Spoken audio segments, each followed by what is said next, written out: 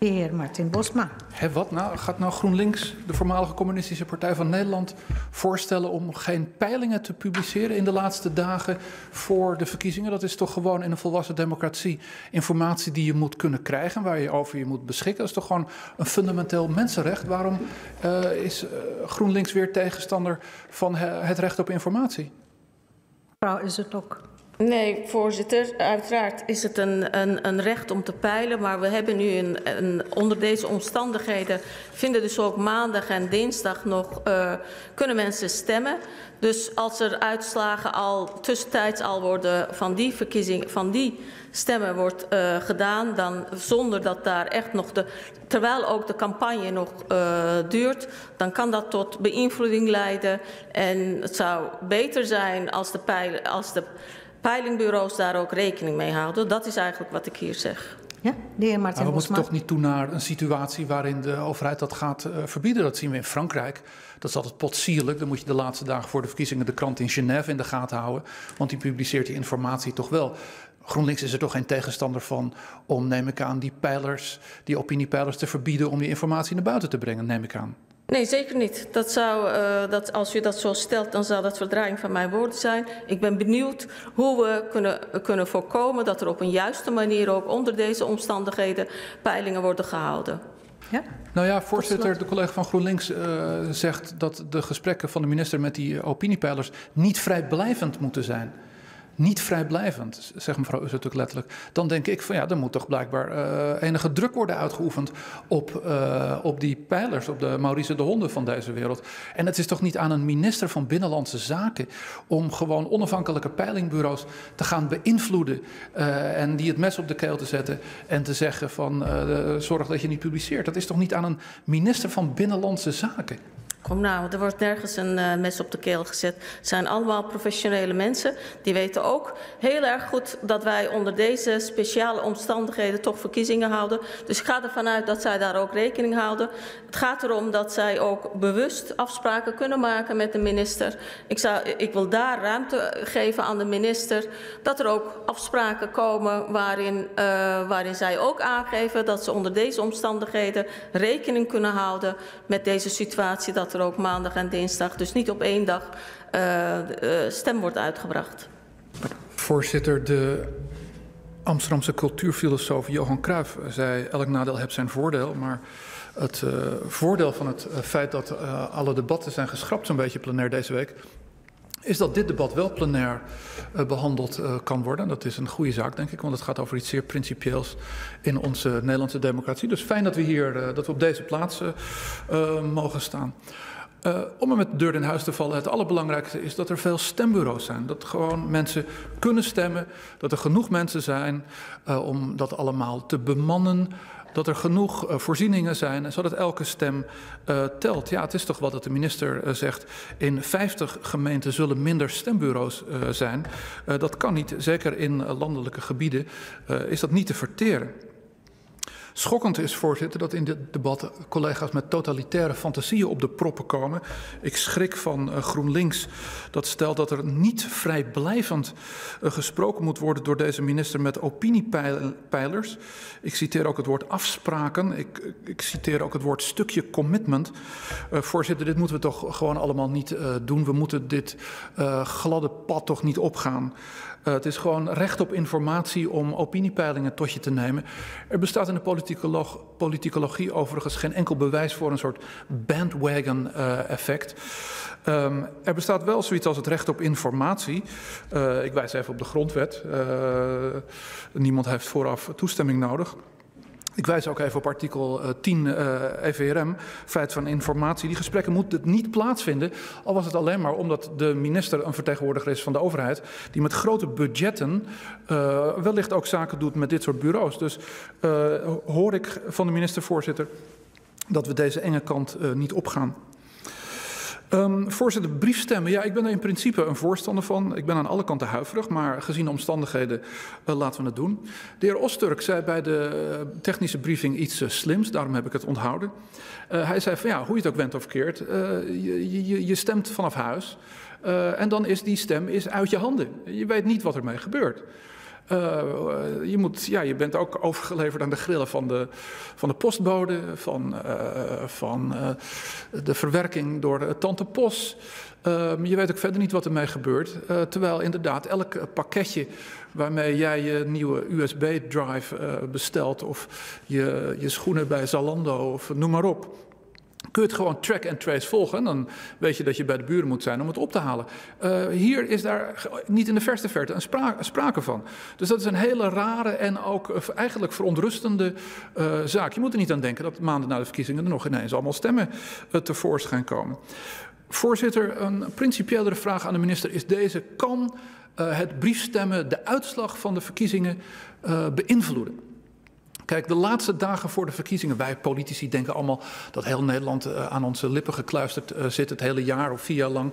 En dat ze uh, een, een, mooie beslissing nemen.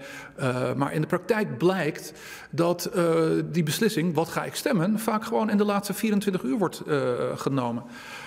En dat blijkt ook uit verkiezingsverloop de afgelopen jaren.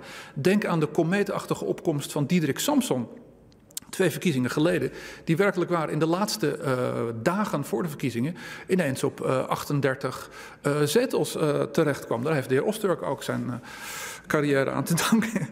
Ik zeg dit in alle, alle neutraliteit, voorzitter.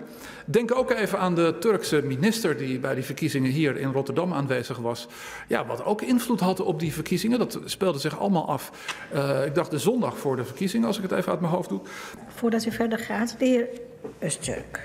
Ja, um, voorzitter, dank uh, vanuit de PVV voor uh, track en trace uh, vraag van ons. Dat het toch geregeld wordt voor de verkiezingen. Dank voor de steun.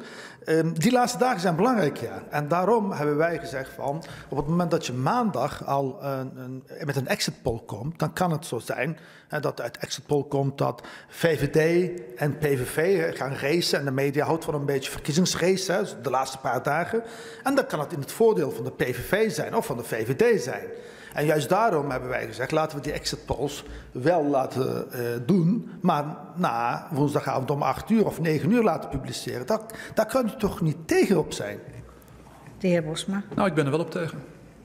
De heer Usturk. Ik wil ook wat toelichten. En nu komt dat hypocriete van de heer Bosma naar boven. Want het komt, het komt hem nu goed uit. Net was het zo van nou, die laatste dagen met Samson, net allerlei, allerlei opmerkingen. En dan nu komt hij van nou, het komt hem goed uit.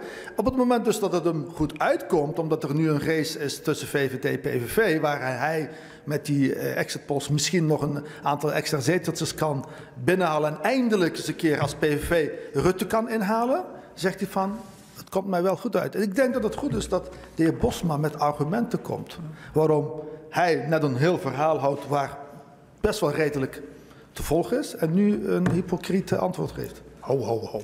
Hey, la, laatste dag van het jaar, laten we een ja, beetje de kerstfeer proberen te komen. Zijn. Ja, kom op zeg. Ja. Uh, maar dat geldt ook voor u. Ja, voor mij altijd. Uh, voorzitter, ja, uh, de heer Osterk stelt nu dat de, de, huidige of de komende Kamerverkiezingen een tweestrijd worden tussen de Partij voor de Vrijheid, mijn partij, en de, de VVD. Dat laat ik voor zijn rekening. Maar als hij dat zo ziet opdoemen, ja, wie ben ik om hem tegen te spreken?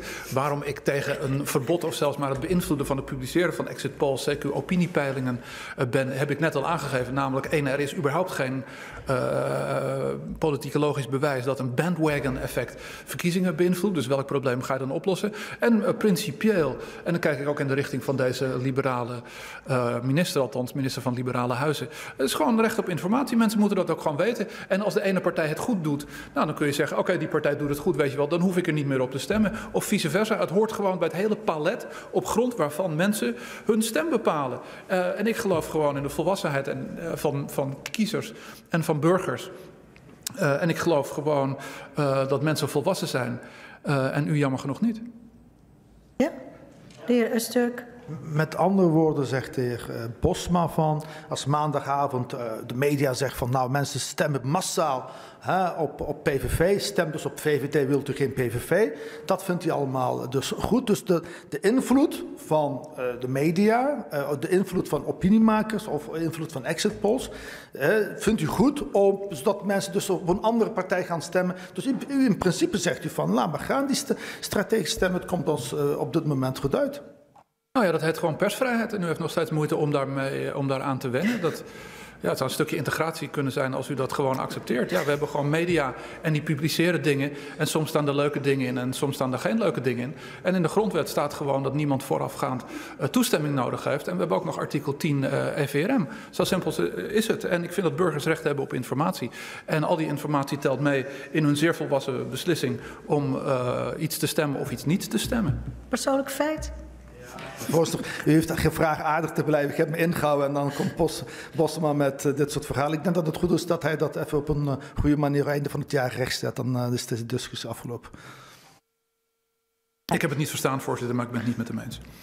Um, voorzitter, een ander punt is uh, ja, dat het toch ingewikkeld is. Dat, dat, ik, dat, ik heb de neiging om jullie alsmaar de ruimte te geven. Want waarschijnlijk nee, is dit misschien laatste. Ja, dat debat. is wel zo. Dat is dan ja. weer, hè? Dat, uh, maar goed.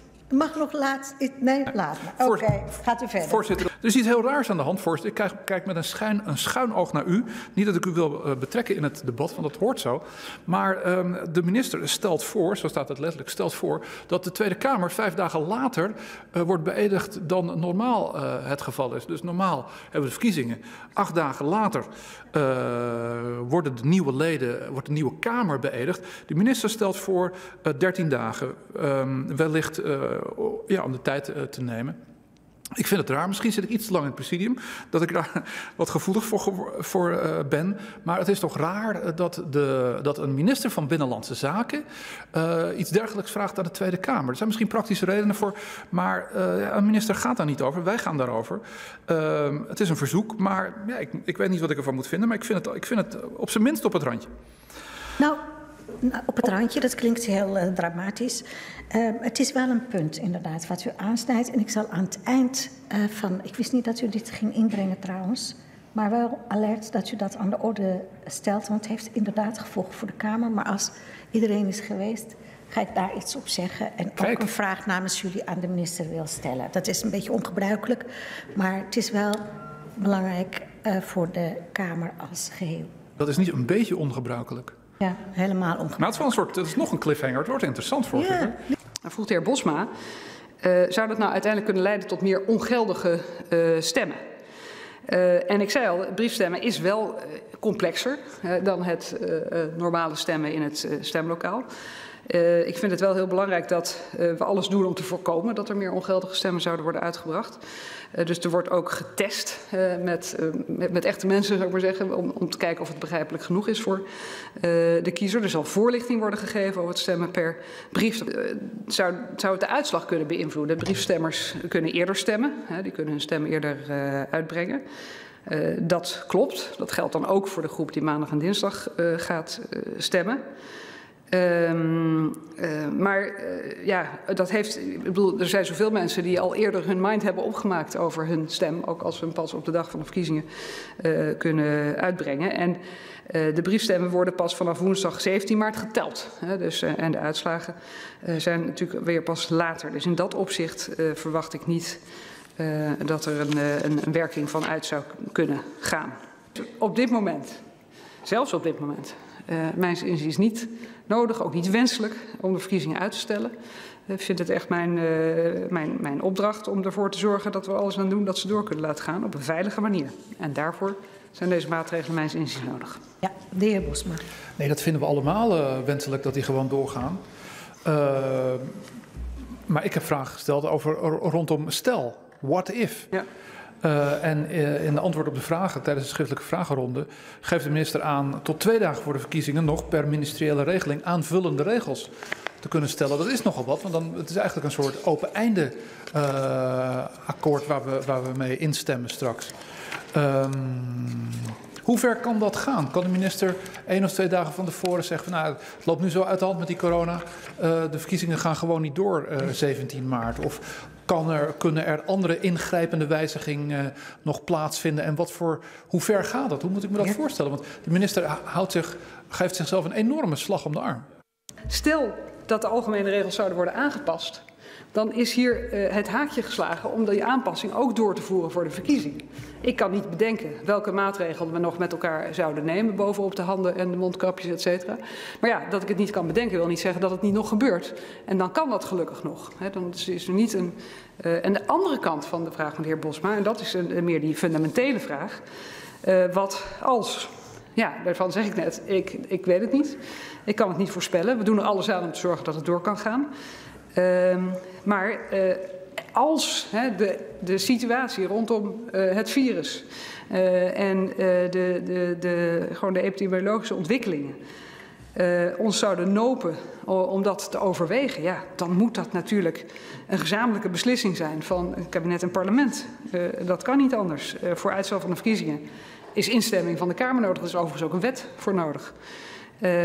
Dus dat staat in de grondwet. Hè. En al in het voorjaar, de eerste brief die ik de Kamer daarover stuurde, heb ik daar, uh, ben ik daar heel open over geweest. Dus dat is natuurlijk heel erg ongewenst. En we hopen dat allemaal niet. Maar dat is uiteindelijk, in het allerergste geval, wat je dan met elkaar zou moeten afspreken. Uh, we hebben ook gezien in andere landen dat dat wel eens is gebeurd. Dus ik kan het niet uitsluiten, uh, maar we moeten wel alles doen om te proberen het maximaal te voorkomen. Ja, dus mijn vrees is onge, ongegrond dat uh, wat ik opmaak uit de antwoord op de vragen van GroenLinks, namelijk twee dagen voor de verkiezingen kan de minister nog met een ministeriële regeling komen, dat er ingrijpende, ik heb het niet over mondkapjes, ik heb het niet over kuchschermen, maar ingrijpende uh, wijzigingen komen in de manier waarop de verkiezingen plaatsvinden. Ja, nee, daar kan, kan de heer Bosma echt uh, gerust op zijn.